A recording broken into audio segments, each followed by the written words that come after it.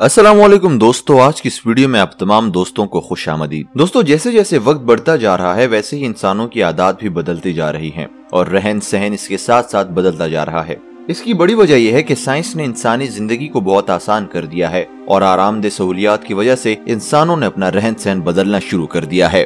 دوستو، پہلے زمانے میں لوگ بیت الخلاء اپنے گھروں کے اندر بنانے کا سوچ بھی نہیں سکتے تھے، بلکہ لوگ قضائے حاجت کے لیے اپنے گھروں سے دور ویرانوں کا رخ کرتے تھے۔ اس دور میں بھی اگر کوئی آرام دہ زندگی کا خواہش مند ہوتا تھا، تو اپنے گھر کے باہر واش روم تعمیر کر لیتا تھا، لیکن گھر کے اندر تعمیر کرنے کا تو سوچ بھی نہیں سکتا تھا۔ جیسے ہی وقت بدلتا گیا، تو لوگ سہولیات کے بہت زیادہ آتی ہوتے گئے اور مشقت والے کام سے دور بھاگنے لگے۔ ہر کام میں اپنے لیے آسانی ڈھونڈنا لوگوں کا سب سے پسندیدہ کام ٹھہرا۔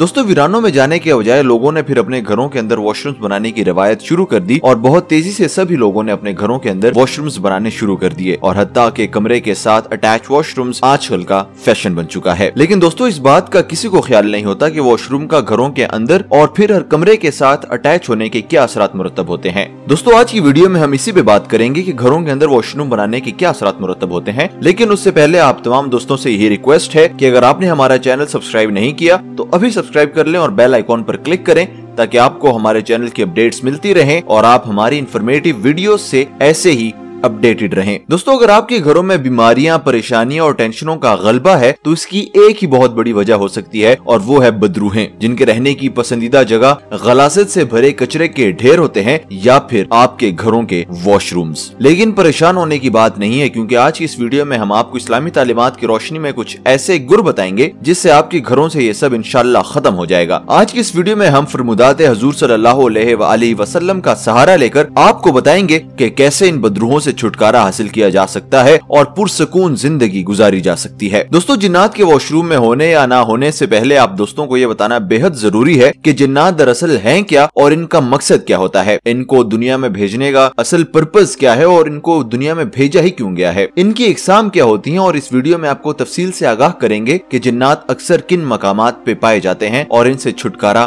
کیسے پایا جا سکتا ہے۔ دوستو، اللہ تعالیٰ نے اپنی عزت والی کتاب قرآن کریم میں جنوں کی اصلی خلقت کے متعلق بتاتے ہوئے فرمایا ہے کہ اور اس سے پہلے ہم نے جنوں کو لو والی آگ سے پیدا کیا اور ارشاد باری تعالیٰ ہے اور جنات کو آگ کے شولے سے پیدا کیا گیا۔ یہ سورہ رحمان کی پندرہویں نمبر آیت ہے۔ اور عائشہ رضی اللہ تعالیٰ عنہ سے صحیح حدیث میں مروی ہے۔ وہ بیان کرتی ہیں کہ نبی صلی اللہ علیہ وآلہ وسلم نے فرمایا، فرشتے نور سے پیدا کیے گئے ہیں اور جنوں کو آگ سے پیدا کیا گیا ہے اور آدم علیہ السلام کی پیدائش کا وصف تمہیں بیان کیا گیا ہے۔ ایک حقیقت یہ ہے کہ جنات ہر وقت اور ہر جگہ موجود ہوتے ہیں۔ نیک لوگوں کے ساتھ نیک اور بدکاروں کے ساتھ بدکار۔ لیکن دوستو، ان سے ڈرنے کی ضرورت اس کو ہے جو شریعت متحرہ سے دور ہیں۔ نیک جنات ہماری دعاؤں میں ہمارے شریک ہوتے ہیں اور ہمارے لیے آسانیاں پیدا کرنے میں اپنا کردار ادا کرتے ہیں۔ جبکہ بدروہیں ان لوگوں کے ساتھ ہیں جن کا شریعت سے کوئی تعلق نہیں ہے اور وہ بدروہیں ان کے لیے آئے دن مشکلات کا سامان کرتی ہیں۔ دوستو، جنات کے متعلق مختلف نام ہیں اور ان کی مختلف اقسام ہیں۔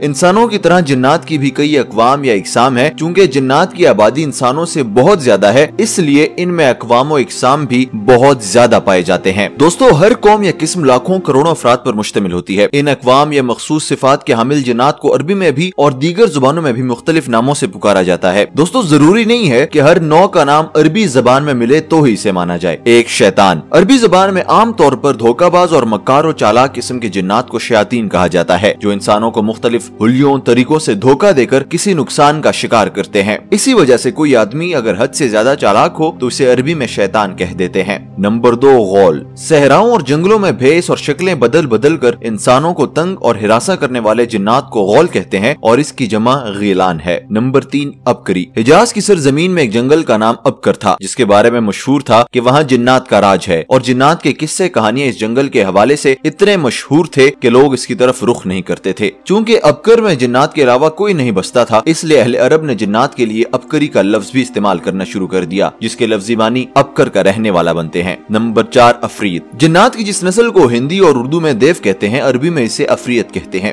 سورت النمل میں حضرت سلیمان علیہ السلام کے واقعے کے ضمن میں ایک ایسے افریت کا تذکر آتا ہے، جو حضرت سلیمان علیہ السلام کے پارلیمان کا باقاعدہ ممبر تھا۔ دوستو، یہ تو ہوگی ان کی اقسام اور ان کے نام۔ اب جانتے ہیں کہ جنات ہوتے کہاں ہیں اور ان کا ٹھکانہ کہاں ہوتا ہے۔ دوستو، آپ ایک بات ذہن میں اچھی طرح سے سے بٹھا لیجیے کہ اس ویڈیو میں آپ کو جو کچھ بھی بتایا جا رہا ہے تو یہ خالصتاً آپ کے اصلاح اور جنات کے بارے میں حقائق کو سامنے لانے کی غرض سے بتایا جا رہا ہے تاکہ لوگوں کے اذہان میں پائے جانے والی غلط فہمیوں کو دور کیا جا سکے۔ دوستو، سیدنا عبداللہ بن مسعود رضی اللہ تعالیٰ عنہ فرماتے ہیں کہ جنات نے رسول اللہ صلی اللہ علیہ وآلہ وسلم کے ساتھ ویرانے میں ملاقات کی اور آپ صلی اللہ علیہ وآلہ وسلم نے انہیں اسلام کی دعوت دی۔ اس سے ثابت ہوا کہ جنات ویرانے کھنڈرات جنگلات اور گھاٹیوں وغیرہ میں ملتے ہیں۔ ایک اور روایت جو کہ مسند امام احمد اور ابن ماجہ میں موجود ہے کہ رسول اللہ صلی اللہ علیہ وآلہ وسلم نے فرمایا بیت الخلاء میں جنات موجود ہوتے ہیں۔ شیطان اور شریر جنات ہمیشہ گندگی کی جگہوں پر پائے جاتے ہیں۔ اسی لیے بیت الخلاء میں جانے سے پہلے دعا پڑھنے کی تاکید کی گئی ہے۔ کوڑا کرکٹ، لیز پھینکنے کی جگہ،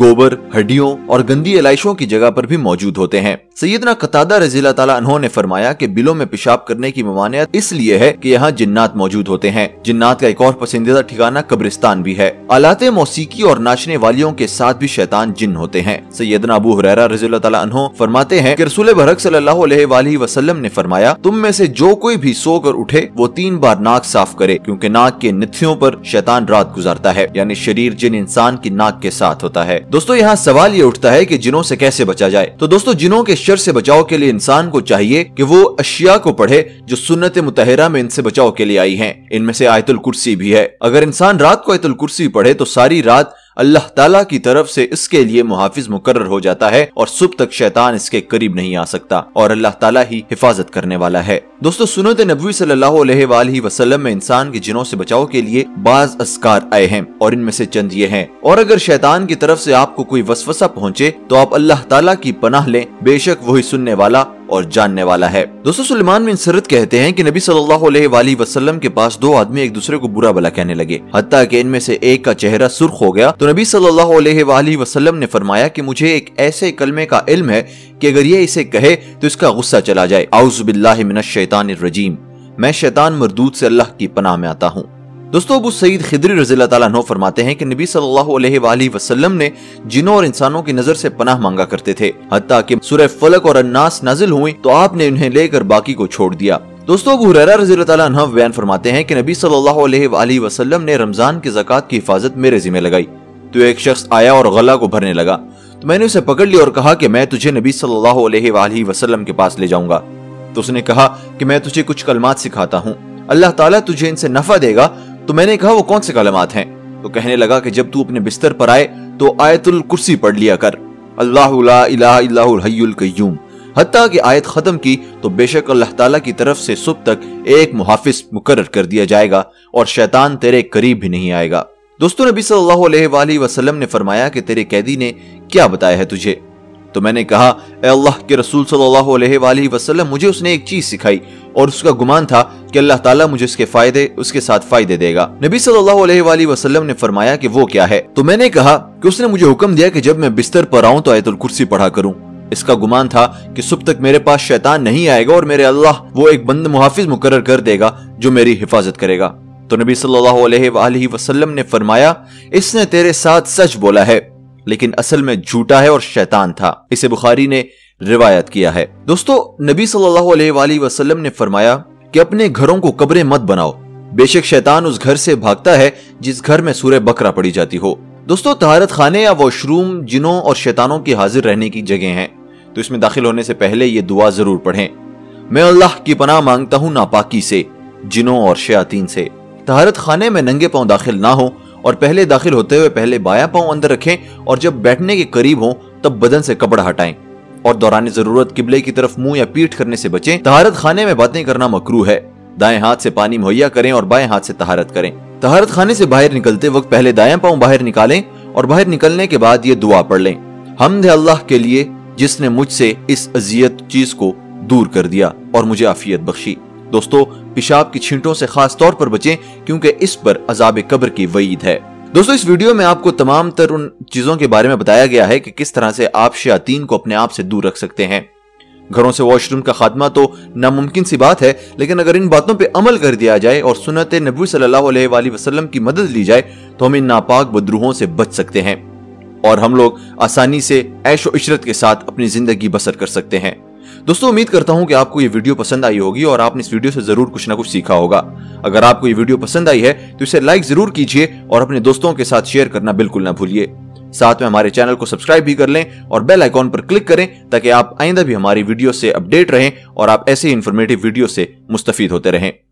دوستو، انشاءاللہ آپ کے ساتھ ایک اور ویڈیو میں دوبارہ ملاقات ہوگی۔ تب تک کے لیے دیجیے اجازت۔ اللہ حافظ۔